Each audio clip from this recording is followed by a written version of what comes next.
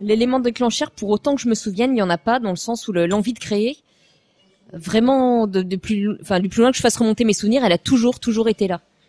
L'élément déclencheur, c'est simplement l'existence des histoires, l'existence des histoires, des dessins, de, de la musique, de tout ça. Et je m'explique pas pourquoi.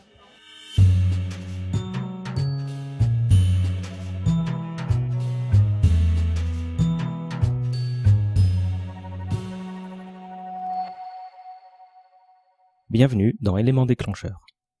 Mélanie Fazi est autrice. Son dernier ouvrage, Nous qui n'existons pas, a été publié en octobre 2018. La plume de Mélanie est originale dans le paysage littéraire francophone, s'exerçant principalement sous forme de nouvelles fantastiques. Son dernier ouvrage, plus personnel, s'intéresse à la question de la norme et de la différence au sein de notre société.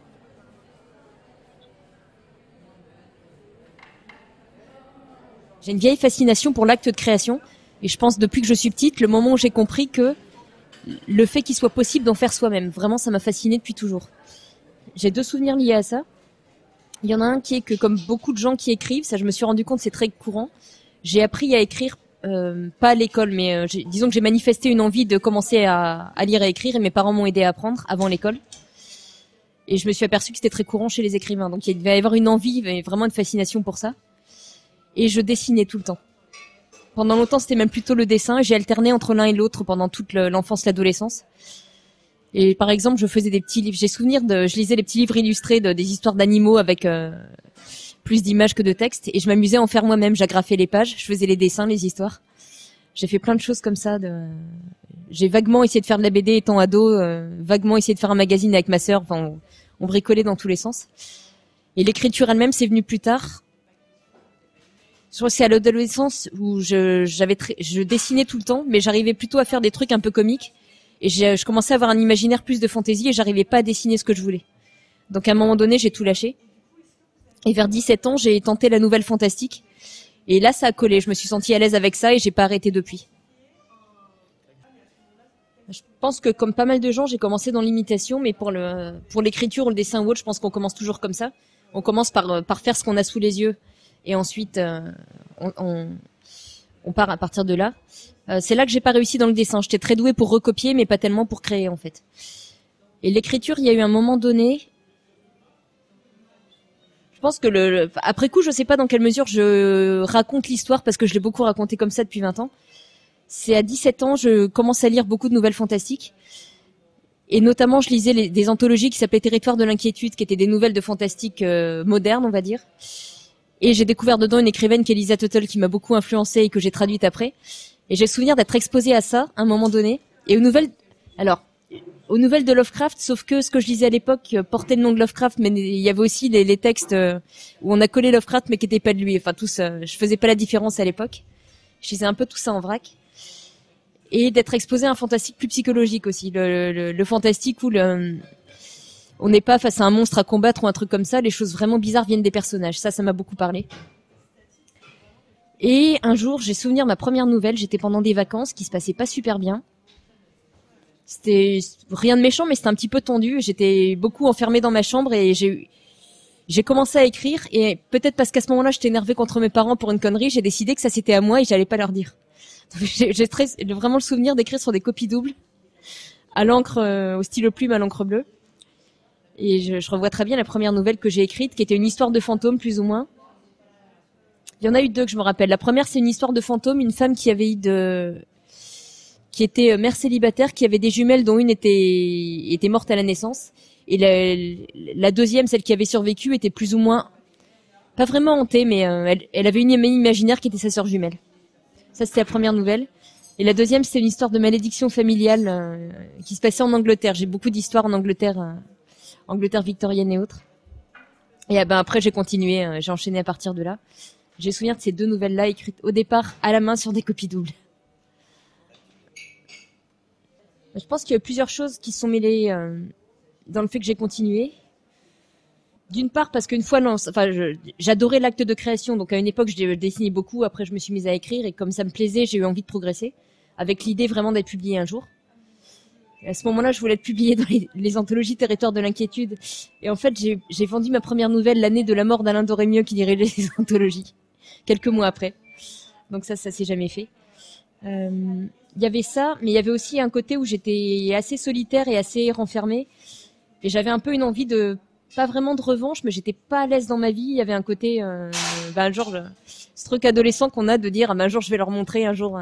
Il y avait, il y avait quelque chose comme ça aussi. Je vais faire quelque chose de ma vie et je voudrais que ce soit ça. Et en même temps, je me projetais pas du tout faire ça professionnellement. C'était un peu, un peu schizo. Je pense qu'il y avait un mélange de, un mélange de vouloir euh, quelque part vouloir exister, vouloir euh, je, je, suis pas à l'aise dans ma vie donc je vais inventer autre chose, et de simplement prendre plaisir à l'exercice et continuer parce que euh, parce que les idées viennent. À ce moment-là, ça s'enchaînait assez vite. Mes premières tentatives d'écriture, ça n'avait pas été du fantastique. J'ai très vaguement tenté de la SF à l'époque où j'en lisais, mais j'ai dû écrire deux pages d'un texte et c'était c'était pas bon en plus. Euh, j'ai très j'ai vaguement écrit des histoires vaguement fantasy à une époque. enfin, j'avais 12-13 ans. Le moment où je m'y mets sérieusement, par contre, c'est du fantastique, c'est de la nouvelle fantastique. Et ça, c'est resté.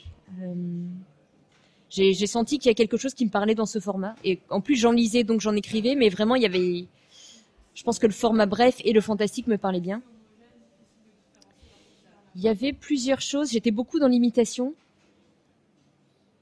Et en même temps, il y avait déjà pas mal les thèmes que j'ai abordés ensuite, les thèmes, notamment la famille, les choses comme ça, les histoires de fantômes beaucoup. J'avais un imaginaire qui était très marqué par euh, l'Angleterre victorienne à l'époque, je pense à cause du cinéma. J'étais fan de, de, films. Il y avait des films de James Ivory, il y avait eu La leçon de piano, il y avait beaucoup de films de cette époque, dont j'aurais utilisé des images d'ailleurs. Je me souviens que les déclics étaient souvent visuels et venaient souvent du cinéma. Il y avait des histoires de fantômes et tout ça venait beaucoup de, notamment de, de Lisa Tuttle et des territoires de l'inquiétude. Ça, c'était, hérité directement. Il y a une histoire de vampire un peu inspirée par Anne Rice quand j'ai lu Entretien avec un vampire. Il y avait des phases comme ça d'imitation. Il y a eu plus tard, euh, plus tard plusieurs nouvelles dans le sud des États-Unis inspirées par tout l'espèce de, de trucs un peu gothiques, euh, les ambiances super lourdes, mais ça c'est venu après.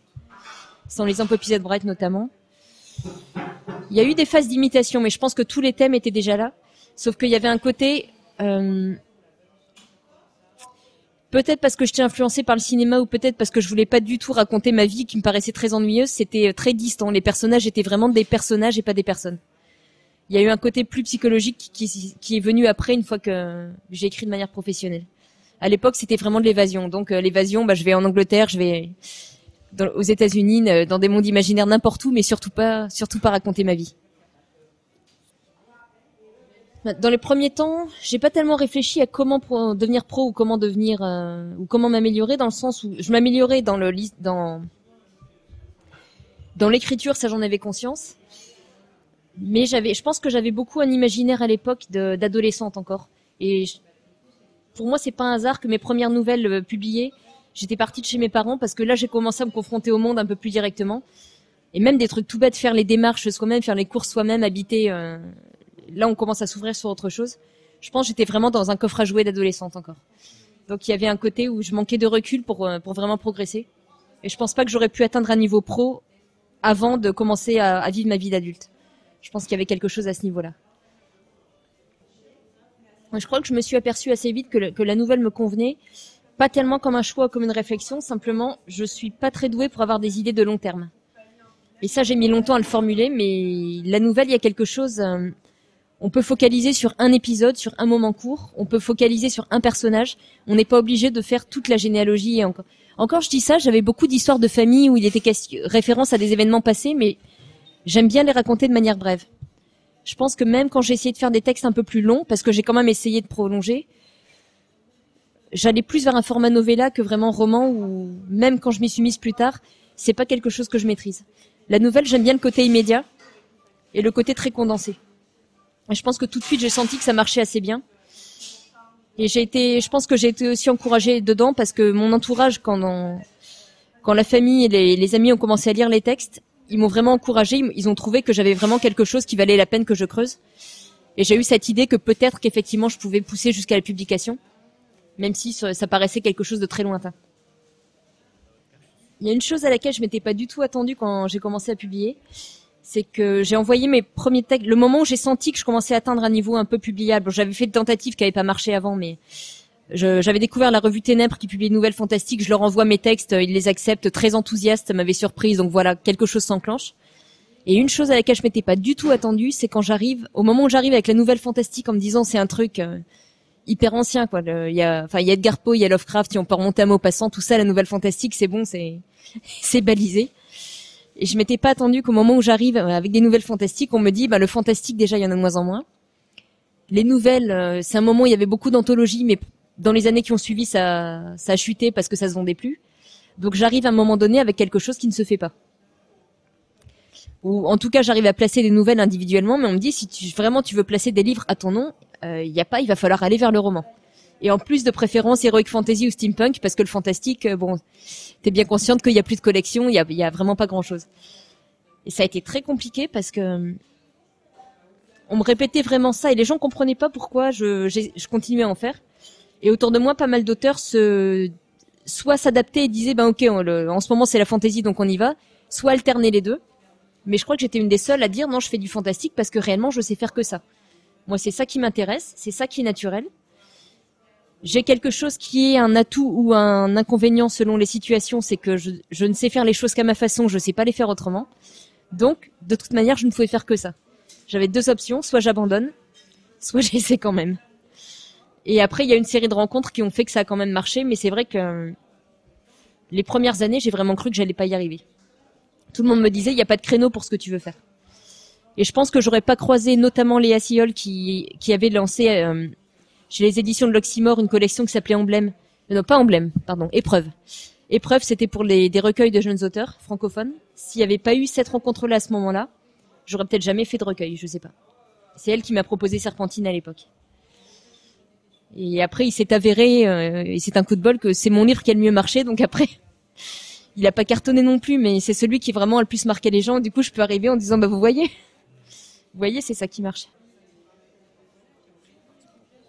En fait, Serpentine, ça a été mon deuxième livre, parce que j'avais sorti un roman avant qui s'appelait Trois pépins du fruit des morts, qui était sorti peut-être six mois avant. J'ai eu un coup de bol qui fait que mes trois premiers livres se sont enchaînés. Il y a eu trois rencontres qui sont arrivées en même temps et trois livres euh, en l'espace d'un an. Mais il s'est passé quelque chose avec Serpentine que euh, que j'avais pas vu venir et qui, qui vraiment, c'est ce livre-là qui a marqué les gens. Et quelque part, ça a été, euh, ça a été un des, vraiment un des grands moments de ma vie. Ça a été pour moi il y a un avant-après. Et à la fois, je l'ai pas vu venir. C'est-à-dire que moi, j'arrive avec un recueil dont j'ai l'impression que je suis plutôt contente. Je réunis les textes que j'ai à ce moment-là et qui me paraissent bien. J'en ai écarté quelques-uns qui, qui sont pas au point. Mais il y a presque une validation de l'extérieur que j'ai pas vu venir et j'ai pas compris moi-même pourquoi ce livre-là à ce moment-là. Ça m'a plutôt confirmé que j'étais sur la bonne voie, mais j'avais eu l'espoir que ça toucherait les gens, mais je m'étais pas rendu compte que ça les toucherait à ce point-là. Et quelque part, le fait que ce soit une étape, c'est euh, l'extérieur qui l'a qui l'a marqué. Euh, ce truc-là, je l'ai pas vu venir. Et ensuite, j'ai un peu mal vécu le fait que le livre suivant soit n'ait pas marqué les gens de la même manière. Après, il s'est passé autre chose. Mais quand j'ai sorti mon deuxième recueil, j'ai senti que des gens étaient presque déçus mais c'est ce truc en fait quand euh, j'ai vu ça chez beaucoup d'artistes, quand on sort un premier livre ou, disque ou autre chose, souvent il y a un côté où on, balance tout. il y a souvent un côté beaucoup plus intense. Et je trouve que après on gagne en maturité ce qu'on perd en intensité. Moi j'ai la, théorie qu'on évolue avec le temps, mais que des fois les gens restent bloqués sur ce qu'on a fait en premier parce que c'est euh, c'est le moment où on balance tout. Et la transition a été un peu compliquée après. La, particularité de l'écriture, c'est que, d'ailleurs, c'est un problème. Je suis pas très créative. Donc, même une bonne année, admettons que le maximum où je sois allée, c'est trois idées de nouvelles, ce qui est pas monstrueux. Et alors, tout le monde me cherche tout le temps des excuses en disant c'est que t'as pas le temps, c'est que tu traduis, c'est que tu fais ça. Et, enfin, la, vérité, c'est que j'ai, en étant, euh, en étant au chômage, en ayant un boulot à côté, en étant étudiante, en étant traductrice, je peux pas produire plus que ça. C'est, c'est un processus qui est trop lent. Donc, les moments d'écriture sont vraiment pas très fréquents par défaut, ma routine, euh, c'est la traduction. C'est-à-dire, je me lève le matin, les journées de boulot, c'est par défaut une journée de traduction. Avec un, un certain nombre de pages à faire sur la journée et plus ou moins des horaires de bureau. Et quand j'ai un texte qui doit être écrit, au moment où je sens qu'il est prêt à être écrit, ce qui me prend quand même quelques mois de maturation en général, là, je lâche tout pendant plusieurs jours. Et je me consacre au premier jet vraiment exclusivement pendant plusieurs jours en essayant de, respecter quand même plus ou moins des horaires de bureau parce que je fonctionne mieux comme ça. mais c'est quelque chose. En fait, ça m'amuse toujours qu'on pose des questions de, de, routine et des choses comme ça. Il y a une, je pense qu'il y a une espèce de cliché dans l'esprit des gens d'un truc un peu magique dans l'acte d'écriture. C'est aussi chiant que n'importe quel boulot. C'est juste, euh, enfin, c'est c'est une routine dans le sens le moins passionnant du truc en fait. C'est euh, on, y va, on essaie d'y aller. Des fois ça marche pas, on s'oblige, on va sur internet et après on s'oblige à, quitter internet. Et on essaie quand même de se fixer un nombre de choses à faire par jour parce que sinon on n'y arrive pas. Après on revient dessus, on affine. Euh, en général, je fais le premier jet, euh, j'essaie de m'en débarrasser vite. Après, je relis une première fois sur écran. Après, j'imprime. J'ai besoin de passer sur papier. Et là, je vois un peu plus clairement ce qui dépasse. Et souvent, je coupe dans ces moments-là. Je développe pas tellement, mais je coupe. Après, je relis sur écran et après, je vais envoyer à des bêta-lecteurs pour avoir leur avis. Et pour moi, le texte n'existe qu'une fois que j'ai le premier retour. Donc, à un moment donné, il y a une mise à distance. C'est bon, dites-moi ce que je viens de faire. Dites-moi à quoi ça ressemble. Et après, et après, je peux décider si ça marche ou pas. La partie vraiment compliquée pour moi, c'est le moment qui va entre le premier déclic et le moment où je suis prête à écrire.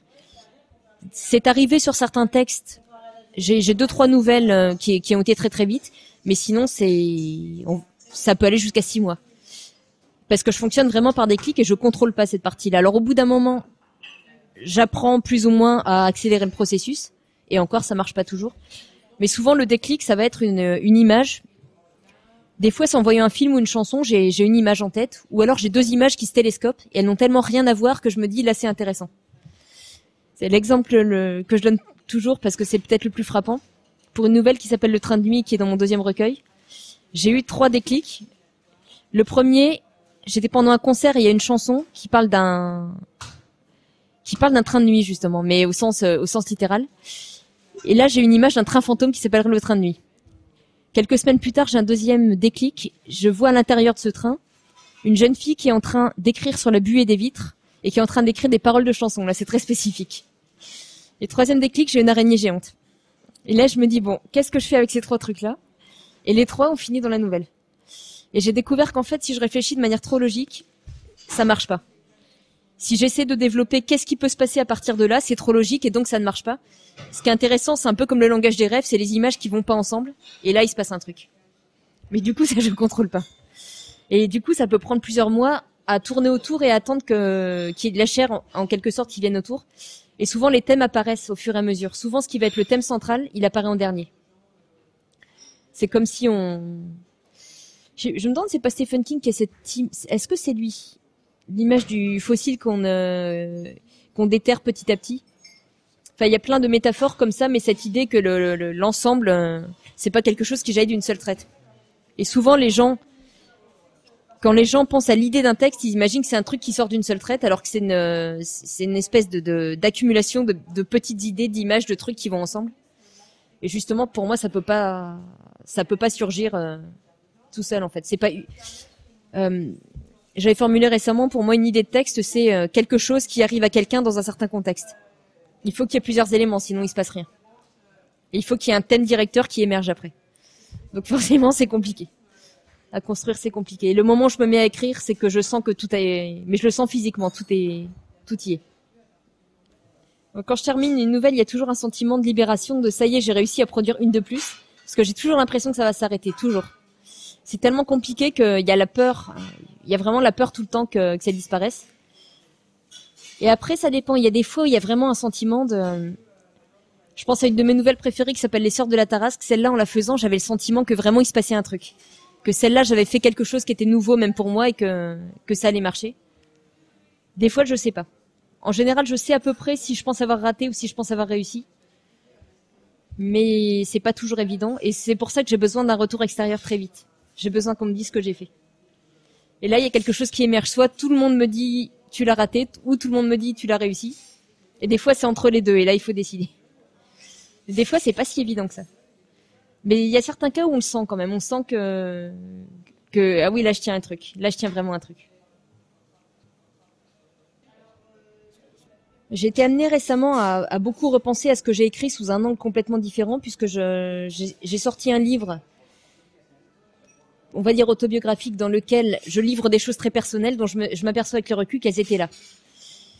Et c'est très étrange à faire, c'est très intéressant en même temps ce que les gens me renvoient de ce qu'ils avaient perçu ou non dans ce que j'écrivais, sur le sentiment d'être. Euh, c'est pas tant sur le sentiment d'être différente au départ parce que ça je l'ai formulé très très tard. Qu'il y a toujours eu un sentiment d'étrangeté dans ce que j'écris. Il y a toujours eu un rapport au monde qui est un petit peu décalé. Il y a toujours une vision du monde où on sait pas bien où commence le fantastique, où il s'arrête, où justement j'ai jamais été intéressée par le fantastique où on a les choses euh, sont fonctionnent normalement et puis il y a une menace extérieure qui arrive et puis on la renvoie d'où elle vient et tout revient à la normale. J'ai jamais trouvé ça intéressant en fait. Je trouve que c'est plus intéressant quand tout se mélange et je m'aperçois avec le recul que je comprends de mieux en mieux ce que j'ai mis dans, dans mes textes. Je comprends de mieux en mieux pourquoi j'ai toujours eu des personnages un peu marginaux, un peu paumés.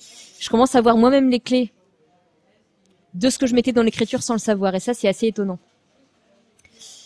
Et du coup, c'est très curieux à un moment donné de, de sortir un livre dans lequel je donne les clés. Enfin, je donne une clé possible en tout cas.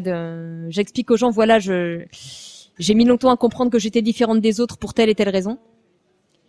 Et il se trouve que ça a compliqué la façon dont j'écris. Euh, c'est c'est extrêmement troublant en fait de se repencher sur ce qu'on a écrit et de s'apercevoir de tout ce qu'on a pu mettre. Alors par moment je savais ce qu'il y avait derrière, par moment non, et de voir comment les gens y réagissent. Je m'aperçois qu'il y a une autre constante dans ma vie et celle-là je l'ai vue avec le recul, elle me fait plutôt rire. C'est la question de trouver sa place et la question, euh, j'ai beaucoup formulé par les questions d'étiquette récemment, de cases d'étiquette et de comment nommer les choses, parce que et c'est un peu compliqué de parler de ça sans rentrer dans les détails, mais euh, quelque chose qui m'a beaucoup compliqué la vie, c'est de ne pas savoir quelle... Euh, de sentir que j'étais différente des autres sans savoir comment le formuler. Et étant, alors pour essayer de, dire de façon simple quelque chose qui n'est pas, une personne qui ne peut pas fonctionner en couple, euh, pas dans le sens où ça m'intéresse pas, mais dans le sens où il y a réellement une pulsion que qu'ont les autres et que je n'ai pas. Et c'est quelque chose que j'ai mis longtemps à admettre parce que je, tout le monde m'a tellement dit ça n'existe pas que j'ai fini par croire que j'avais un problème, que j'étais anormal, etc. Enfin, on se, on se pourrit la vie avec ça, avec des trucs complètement idiots. Et ne pas savoir que ça existait parce que ça ne portait pas de nom a été compliqué. J'ai fait tout récemment le lien avec le fait d'exercer de. C'est compliqué d'en parler en fait parce que je me suis retrouvée à publier un livre qui du coup ne rentre dans aucune case parce que c'est un texte personnel, mais c'est pas un essai, mais c'est pas un témoignage, mais c'est, mais ça parle d'écriture, mais c'est plein de trucs. Donc un livre qui rentre pas dans les cases non plus. Et j'ai fait le lien seulement récemment avec le fait que j'arrive à un moment donné en disant, bah moi je veux écrire du fantastique et on me dit, mais cette case-là, en ce moment n'existe pas. Donc il y a toujours eu un côté où je suivre mon instinct m'amène tout le temps sur des voies qui sont pas celles où tout le monde va. Ça finit par être comme ça qu'on finit par se distinguer mais il faut une certaine confiance pour réussir à dire, enfin, il faut une confiance où il faut ne pas avoir le choix en fait. Donc je m'aperçois depuis très peu de temps que c'est vraiment une constante dans ma vie aussi. Et je me suis retrouvée à me bagarrer un peu contre ce discours qu'ont beaucoup de gens, alors avec les meilleures intentions du monde, qui est de dire, euh, on met des étiquettes pour tout et n'importe quoi, c'est n'importe quoi, ça sert à rien. Et d'expliquer, ben en fait si, ça explique à des gens que mettre un nom sur quelque chose, ça veut dire que ça existe, ça veut dire qu'on est plusieurs ça veut dire qu'on sait comment l'expliquer aux autres. Et je m'aperçois qu'une des, une des nombreuses choses derrière mon écriture, ça a été la, essayer de mettre des choses, des mots là où il n'y en avait pas.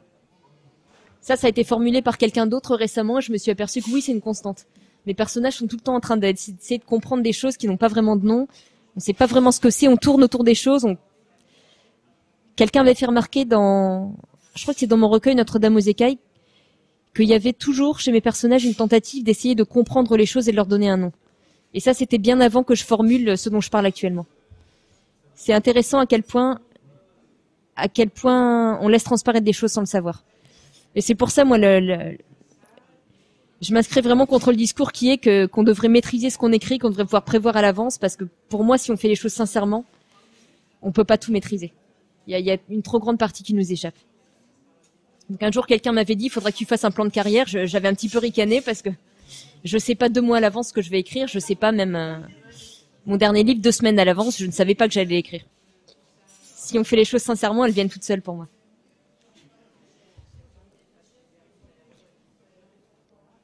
Il y a une chose qui est assez curieuse à parler en ce moment de création, parce que je suis à un, moment vraiment très particulier, un moment de bascule, je pense c'est que d'avoir pris la parole sur des choses extrêmement personnelles et de les avoir formulées d'une manière qui en plus n'était pas de la fiction, ça a changé énormément de choses.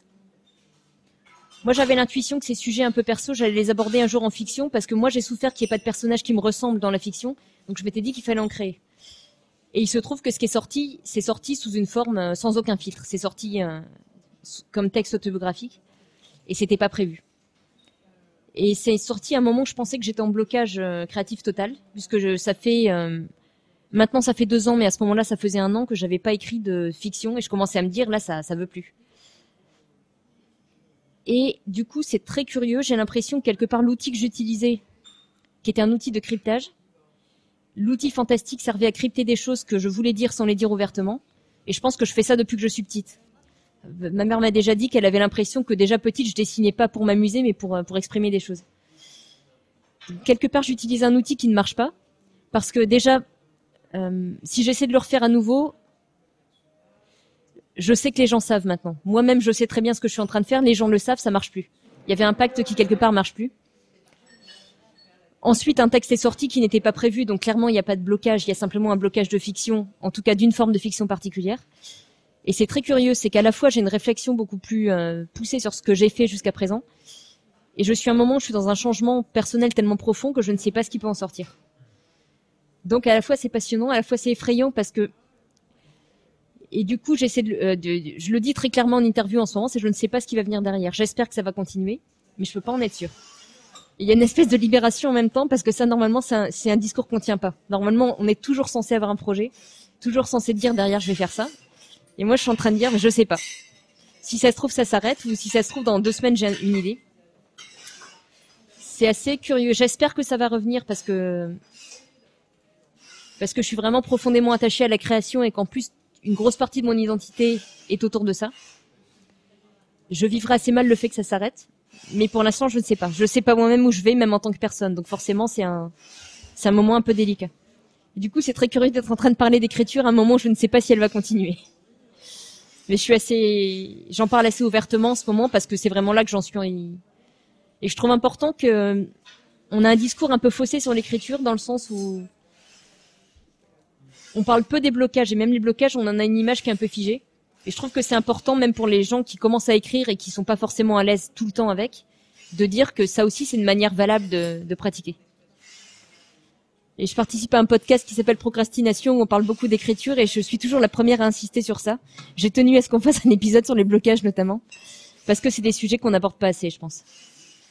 Il faut aussi dire que c'est pas toujours facile, qu'on n'est pas des, des super héros qui ont un pouvoir et on claque des doigts, ça sort tout seul, que des fois c'est pas si facile.